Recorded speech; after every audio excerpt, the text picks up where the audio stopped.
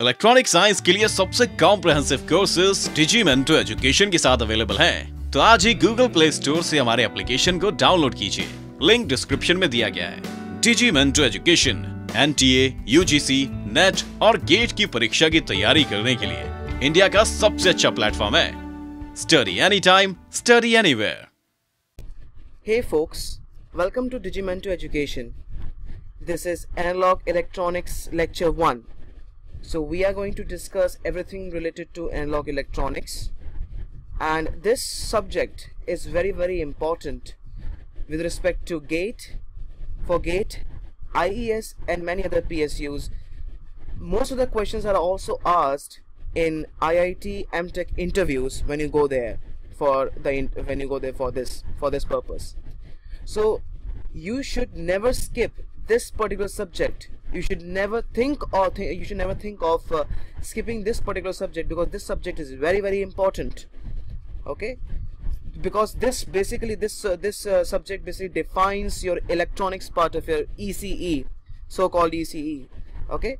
This is lecture 1 so we are going to discuss first of all uh, what we will we shall cover in this uh, subject so you can expect a uh, you can expect questions uh, the, so in this case electronic analog electronics can cover uh, can uh, accounts for about uh, about uh, 12 11 to 12 marks in basic in your gate syllabus okay? In your gate examination you can expect about 12 11 to 12 marks question asked in in the gate in the gate examination okay? And this uh, this is very uh, pretty good weightage that is given uh, in the uh, given to this particular subject in the gate examination. Okay? So let me just brief you about uh, the topics that we shall cover in the forthcoming uh, lectures. First one is rectifiers. We shall discuss about different type of rectifiers. Okay? Voltage regulators. Okay? Wave shaping circuits like clipper and clamper. Then we have a BJT we shall have a in-depth uh, analysis of BJT its basics and its applications they're very very important. BJT based amplifiers this is highly important. You should never basically skip this particular topic because this is very very important with respect to analog electronics. Okay? Maximum questions can be asked from this particular topic. Then a field effect transistors in-depth basics and applications FET based amplifiers okay? I will tell you some shortcuts that you that you uh, which will basically enable you to remember uh, the concepts. And you can eas- if you if you know the concepts related to one of these two one of these two topics then you shall be able to derive the formulas or the formulas of uh, of uh, another of other uh, topic. Okay? Or for example you know the basics of BJT based amplifiers. You know how to write the formulas how to basically memorize all the formulas related to BJT based amplifiers then you shall be able to write the formulas related to FET based amplifiers. Then we have a multi-stage amplifiers cascading cascoding feedback amplifiers power amplifier. This is also important okay? This is also important topic. This is very very important. Op amps are very very important for this uh, for the examination okay and uh, then we have filters and oscillators and for triple five timer. Triple five timer is not that important. Rarely you can you can rarely encounter such questions in the gate examination. Uh, it has occurred a very very uh, lesser number of times in the gate examination. So not very important. Okay? Even if you uh, basically skip this particular topic it won't affect your gate preparation. It won't affect it would basically uh, it won't affect your gate preparation and you cannot expect a hell lot of questions asked from this particular topic. So even if you skip this topic this is no, there's no issue. But uh, the but the topics that I mark separately as important are very very are seriously very very important. And you have to cover all these topics. You should you should be well versed. All the concepts related to these four topics which I marked separately as important and very important respectively. Okay? And you can expect a very a pretty a pretty good weightage of this particular subject in the gate examination is 11 to 12 marks this is huge okay and you can even expect greater than this 11 to 12 marks about 13 or 14 15 marks uh, questions okay so these are the basically uh, this is basically the rough idea uh, of uh, the topics that we shall cover in this uh, particular subject. Let's start with the first lecture. Okay, let's begin. We shall now first discuss about circuits. Okay, first one. So we, shall start with the basic definitions. Okay, that can uh, basically be asked in uh, the in some in some interviews or anything else. Okay, our one line one, one, one line MCQ question. So what are electronic electronic circuits? Okay, let's quickly have a basic definition of uh, some terminologies of some basic topics. Okay, so a circuit a circuit which consists of at least one electronic device device as a major component okay? That's what is known as electronic circuit. Then we have analog electronic circuit.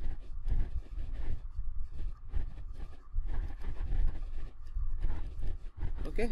What is analog electronic circuit? So n analog an analog electronic circuit which can process analog signals.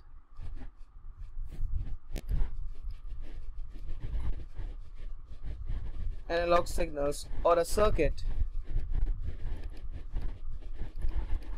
which in which input and output signals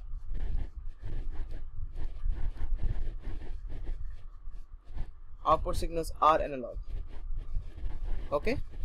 So these are some basic definitions. For example you can have amplifier or rectifier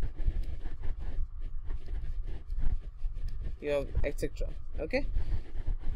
Third definition we have then advantages of analog circuits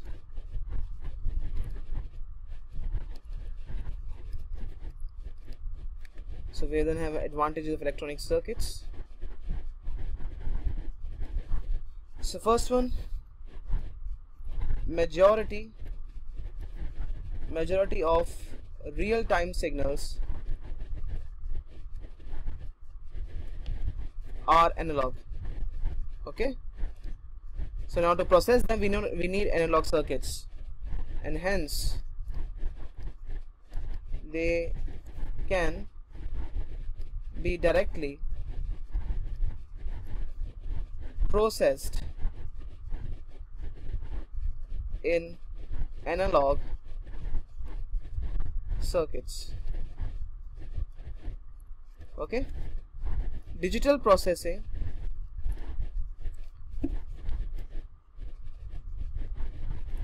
digital processing requires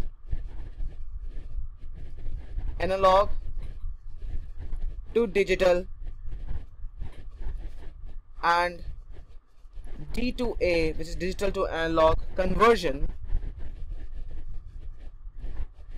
conversion which increases which increases complexity and signal accuracy is also lost.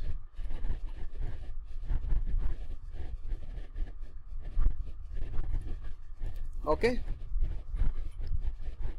So in the communication system when you study the pulse code uh, modulation scheme so when you basically sample the signal okay you have some sampled values uh, perfect analog values which is which are uh, sample values which are basically derived from the perfect analog values which are basically analog values at those time instants when at which the signal is sampled but when you quantize that signal to some quantization values you lost you basically you basically lose the actual sampled values which are basically actual analog values. And you won't be able to recover those those particular values at the receiver side because there is no invertible function of the quantizer okay? You have for encoder you have a decoder but for a quantizer you don't have a dequantizer you cannot recover those uh, actual sampled values actual analog analog values. So this is basically uh, the the digital circuits lack in uh, like in this thing because they lack in uh, accuracy okay? Second analog circuits can process signals having greater power also. Okay? These are two advantages uh, sufficient advantages of uh, analog circuits analog signals. We then discuss about the DC power supply.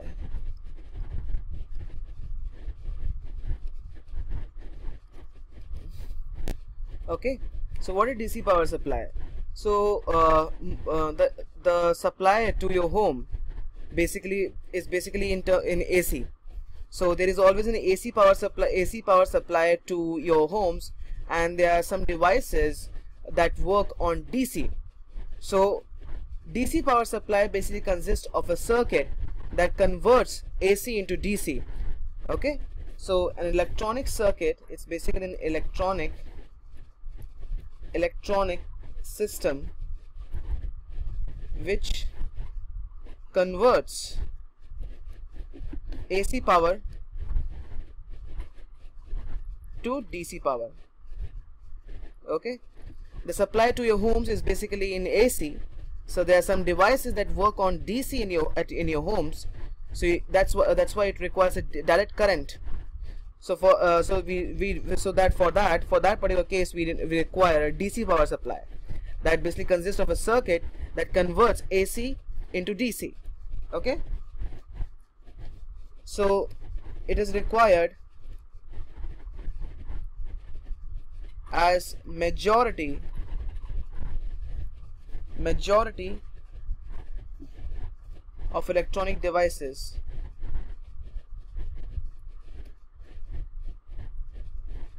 devices circuits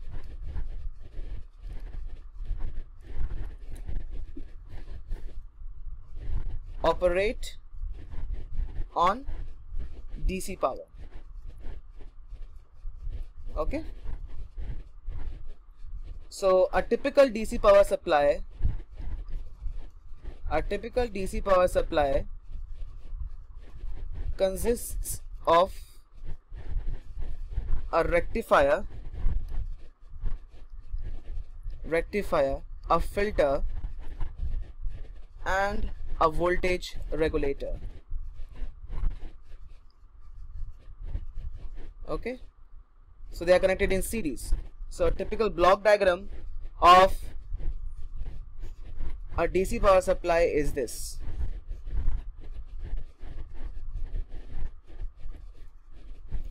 You have a rectifier.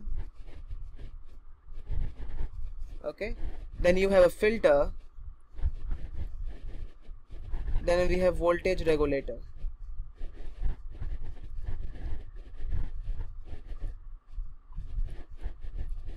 A rectifier basically at the input there is an AC source AC signal.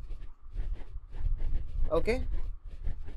The output of a rectifier is basically a pulsating DC there are pulses and there are ripples in the DC so at the output of it you have pulsating DC or rippled DC okay? Fluctuating. And after filter if we apply a filter you have a fluctuating DC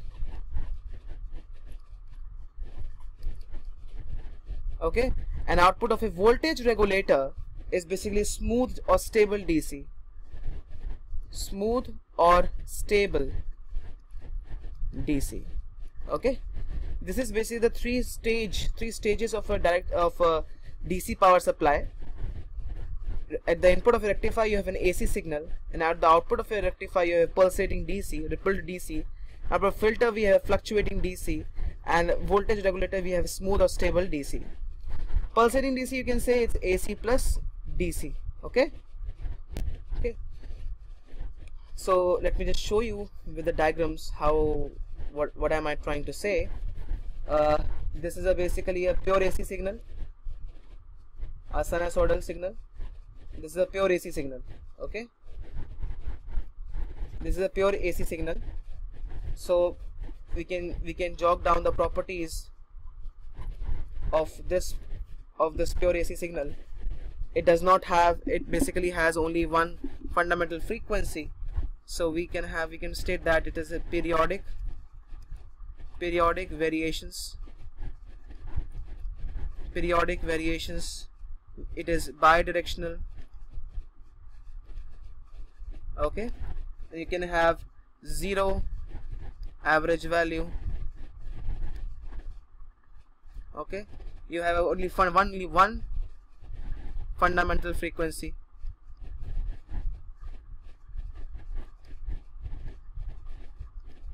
uh, which means that there are no harmonics present. Okay? Then we have pulsating DC then we have a pulsating DC pulsating DC which is basically uh, uh, which, is, which is basically produced or reproduced at the output of a rectifier. Okay? Pulsating DC is like this. Okay? Pulsating DC or you can you can have in the downward direction. You can have that in downward direction as well. Okay? It's a pulsating DC green one is different one. Green one is different. Red uh, orange one is also different. Okay? So let me write some points regard uh, related to this. So we have a periodic variation. Okay periodic variation. Second one it is unidirectional. It is unidirectional. Third one it is it has non-zero average value which means that DC value exists. Fourth one it will have harmonics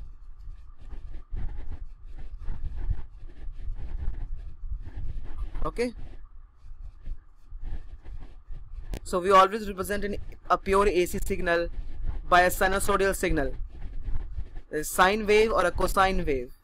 Because the main thing that basically distinguishes this particular signal with other signals is that it does not have harmonics. It has only one fundamental frequency. While other signals may possess harmonics which could basically be harmful for the devices that operate on analog signals. Okay? So that's why it is a pure AC signal. We always choose your sinusoidal signal to represent that AC, that particular AC signal. Because this AC signal does not have the harmonics present in them. Or it only has only one it, it has only one fundamental frequency. Okay? So we can note one point here that periodic variations periodic variation indicates presence of AC component as well. This particular rectified or you can say full wave rectified signal does have some AC component that's why it is it is basically periodic okay? And non-zero average value average value which presents which indicates the presence of of DC component. So this rectified signal has both AC and DC component. Because there is some there will be some average value and this is also periodic in nature. So there's AC plus DC components. Both are present. Okay? Now let's start with the rectifiers which is okay which is one of the most important topics of uh, this particular subject analog electronics. Okay? Let's start with the rectifiers. Don't you don't worry about the rectifiers because I will cover every part of uh, rectifiers in this in this lecture okay? So let's start with this. Rectifiers. Let's start with the basic definition of a rectifier. What does the rectifier do? Okay? What is the function what is the functionality of a rectifier? So we have an electronic circuits it's basically an electronic circuit electronic circuit which converts pure AC into pulsating DC into pulsating DC or a circuit which converts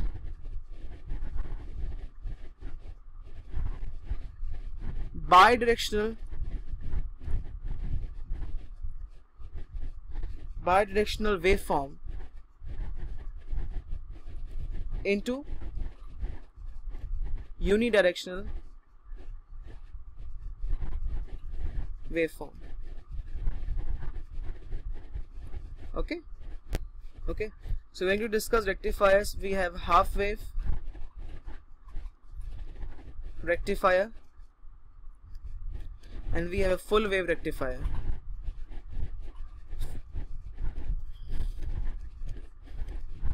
In this we shall discuss about center tapped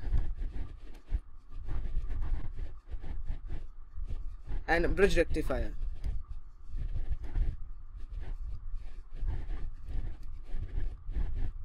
Okay? By the way these three type of rectifiers are basically low voltage rectifiers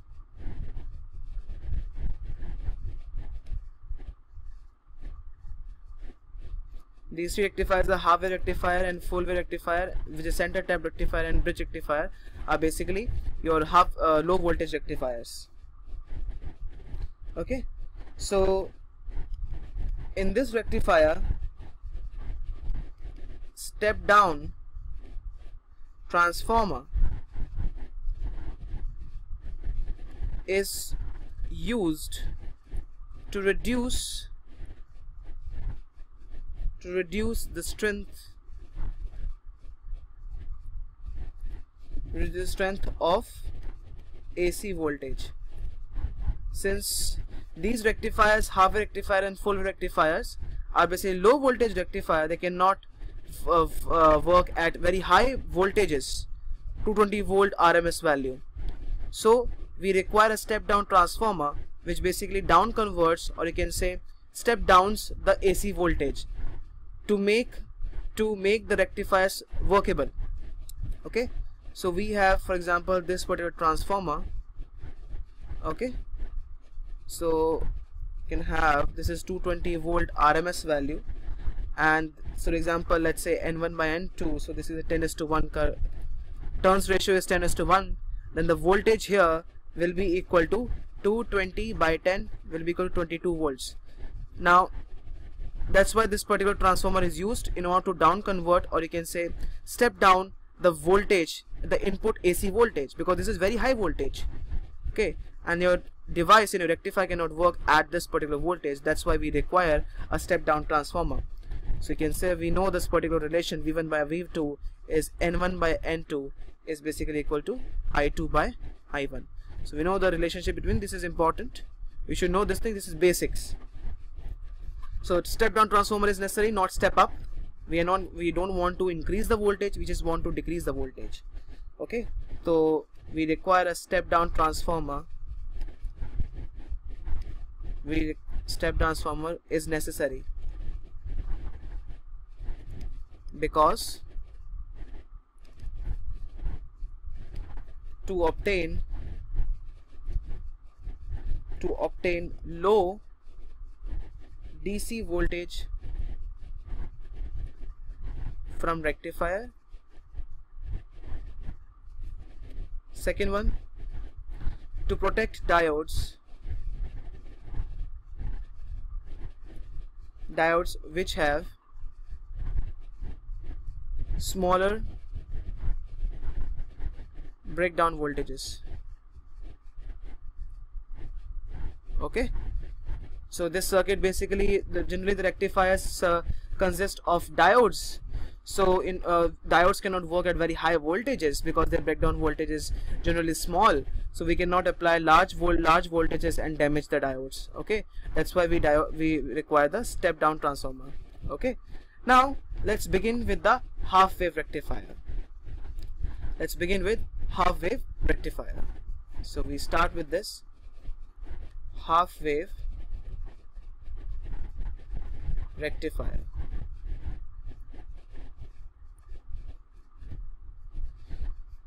so let's draw the general circuit of half wave rectifier. It consists of a step down transformer.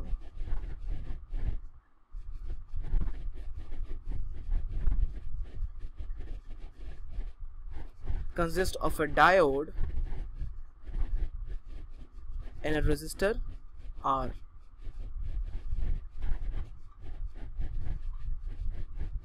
okay? This is pure AC signal. This is 220 volt RMS normal generally uh, this is the basically AC voltage that is uh, that comes in in your in your uh, house. Okay? And the frequency is 50 hertz. Okay? And the voltage let's say is VI here this is the turns ratio. Let's say this is N1 is to N2 where N1 is greater than N2 okay this is the turns ratio. So this is basically this is a basic uh, rectifier circuit without filters. We shall discuss filters in the later part of this course. So 220 volt is basically the RMS voltage. So if uh, uh, in the in the circuits which consist of uh, AC calculations. If the AC input signal is given as some uh, some uh, given given some voltage without specifying it being an RMS value or average value or a normal peak value of the AC signal you have to by default consider it as an RMS value okay? You have to consider it as an RMS value by default okay? You have to consider consider as an R, uh, it as an RMS value. So it's 20 220 volts. If it is written 220 volts by default you have to consider 220 volt RMS value. Okay? 50 hertz is the line frequency. Is the line frequency. Okay? VI is basically pure AC pure AC voltage with smaller RMS value.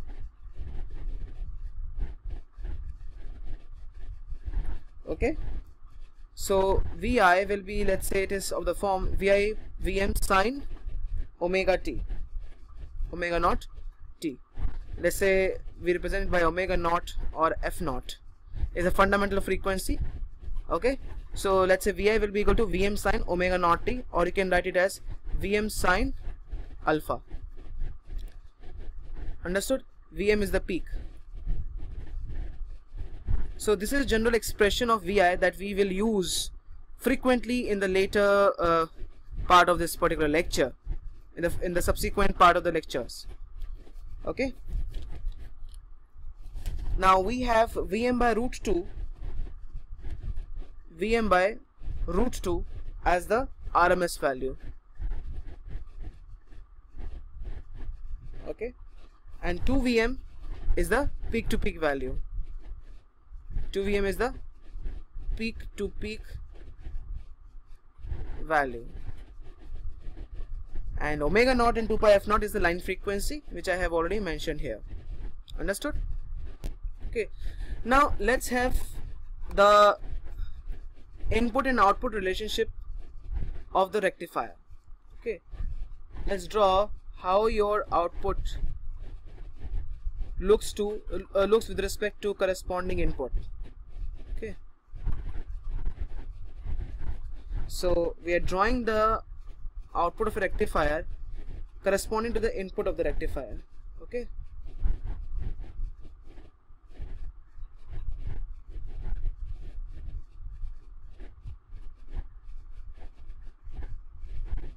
Okay. So this is the input signal a pure AC signal sinusoidal signal. Okay. This is basically the uh, VI this is plus Vm this is minus Vm okay. So if we just have a look at this when Vi is positive when Vi is positive we just have a look when Vi is positive when Vi is positive this diode will be forward biased diode will be forward biased and we will have we will have some output voltage which will be equal to Vi. Okay? So this diode is forward biased diode is forward biased okay? And output voltage which quick output voltage will basically follow Vi. Output voltage then follows Vi. Okay? So this is equal to Vi when Vi is negative when Vi is negative which is less than 0 what would happen then? When Vi is negative diode D will be reverse biased. Reverse bias means it will be open circuited. Forward biasing it is short circuited. In reverse bias it is open circuited. So diode act as a open circuited when it is reverse bias, biased. Diode acts as short circuit short circuit when it is forward biased. So Vi will be positive. So in the, if Vi is positive, this will be forward bias and we have VO tracing Vi. When Vi is negative, then we will have VO equal to 0. It will VO will be equal to 0. It will, it will not show anything. Similarly in this case, it will follow vi and then it will be equal to 0 for this particular thing so this is 0 this is pi this is 2 pi this is 3 pi and this is 4 pi and so on and so forth. Okay? This is alpha. Okay? This is 0 this is vi this is 0 so this is how the waveform output waveform looks. Okay? So we will have case 1 let me write it here when Vi is positive diode is forward biased which means that it is short circuited. Then VO will be equal to VI understood? Second case when VI is negative so you can say diode is reverse biased which means it is open circuited and output voltage will be equal to 0 volts okay. Let's start with the analysis of the circuits. So analysis of the half wave rectifier.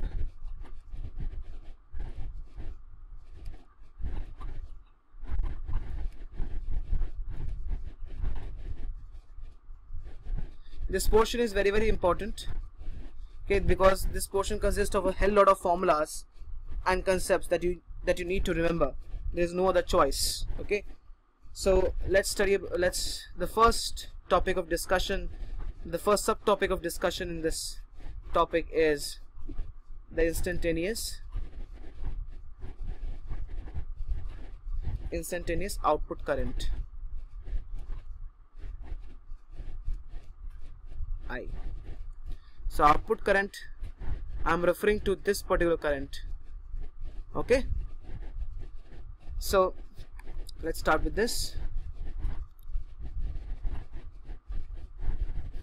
Okay. So when alpha is basically between pi and 0 so diode is is forward bias which is short circuited okay and uh, we are considering the diode to be uh, let's say have some resistance RF which is forward resistance a few ohms. Let diode has some forward resistance.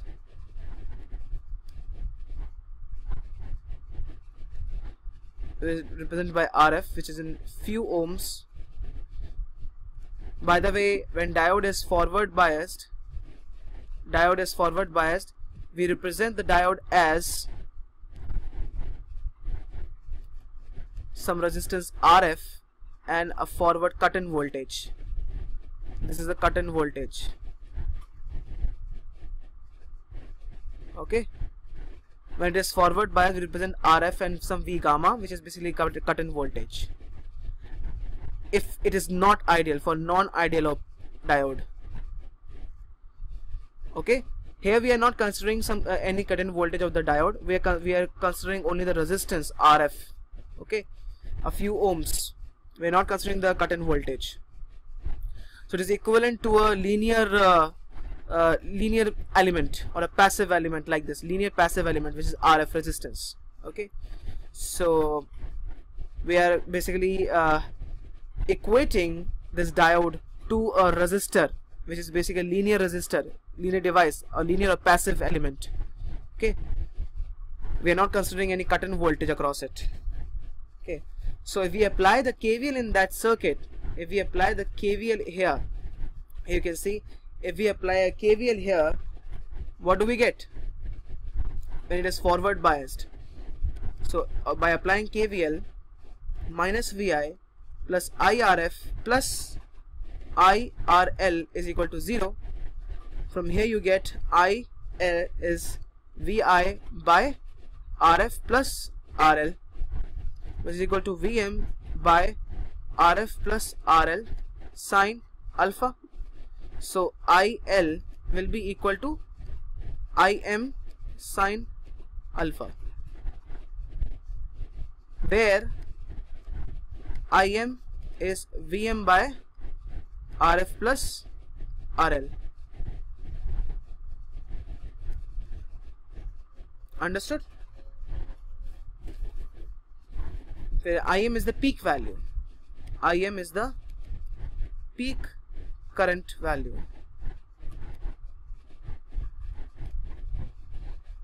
Now in the second case when alpha is basically between 2 pi and pi. In this case diode is reverse biased which is open circuited so negligible current flows. You can consider IL is equal to 0 or you can consider that the diode offers a resistance in the order of mega ohms. So a negligible current flows when it is reverse bias. So by, um, by, by default we consider it as open circuited when it is an ideal diode. Okay? So thus we can say we can conclude that IL will be equal to Im sine alpha for alpha lying between 0 and pi and will be equal to 0 for alpha lying between pi and 2 pi. And this thing will repeat itself after every 2 pi cycles. Okay? This is the instantaneous output current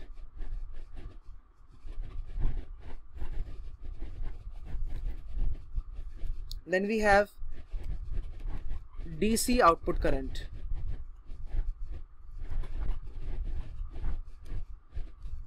DC output current or you can write it as IDC okay.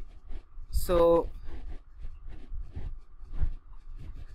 So we know that IDC is basically average value upon total time period area upon time period this is how we define the DC or the average value this is equal to equal to 1 by T integration I dt over a particular time period T this is how we define an average value. So here we have IDC as 1 upon 2 pi integration over one particular period which is 0 to 2 pi il d alpha. Okay? Because we have uh, written uh, we have drawn the graph with respect to alpha which is omega naught t. Okay? So this will be equal to 1 upon 2 pi integration. 0 say pi because from pi to 2 pi it is il is 0 id alpha plus 1 upon 2 pi pi to 2 pi id alpha this will be equal to 0 so we are left with only this thing 0 to pi im sine alpha d alpha is equal to im upon 2 pi minus cos alpha 0 say pi. And the answer we get is im by pi.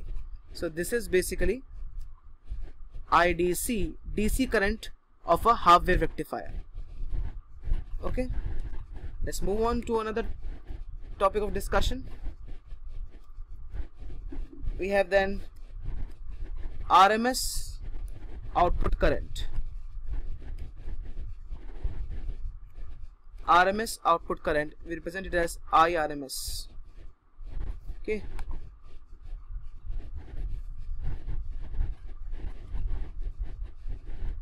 So uh, IRMS is basically the RMS value of the current is equal to 1 upon is equal to square root of 1 upon 2 pi 0 say 2 pi i l square d alpha okay so square root of 1 upon 2 pi integration 0 to 2 pi im square sine square alpha d alpha. Okay. So if we open sine square alpha which is 1 minus cos 2 alpha by 2 square root of 1 upon 2 pi integration 0 to pi because from pi to 2 pi is equal to 0 you have im square by 2 1 minus cos 2 alpha d alpha. Okay? If we solve for this we get im by 2 so the rms rms current is equal to im by 2 okay? This is the output rms current rms output current. Understood? Okay folks. I am stopping this lecture here. I am terminating this lecture here. So th these are these were some of the basics of uh, analog electronics that I covered in this lecture. And it is very very important that you and I would advise you to please go through all the lectures before of electronic devices and circuits that I covered as well as this, the introduction that I basically covered uh, introduction to analog electronics. Okay? So the topics that are marked separately as important it means it is they are very important because they are very important with respect to gate and IES and PSUs and interviews so I would suggest you to be with me to bear with me and to be up to date. And keep a track of the lectures so that you never basically miss out any important point if you okay? And please uh, subscribe to our channel and hit the like uh, hit the bell icon so that you are updated with the so that you get later so that you are notified for the latest updates. Okay? Thank you very much